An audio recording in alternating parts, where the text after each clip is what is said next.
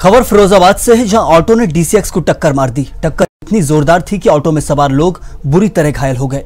Auto में 10 वयस्क समेत पाँच बच्चे भी सवार थे। घायलों को तुरंत 108 की मदद से अस्पताल पहुँचाया गया, जहाँ घायलों का इलाज जारी है। जा रहे थे तो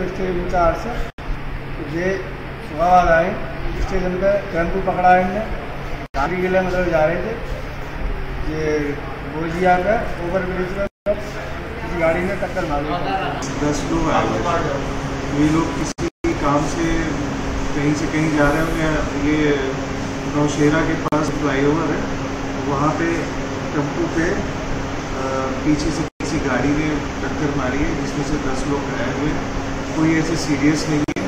सबका फ़र्स्ट एड देने के बाद एक दो लोगों के पैर में थोड़ी चोट है, उनको रेफर किया गया है।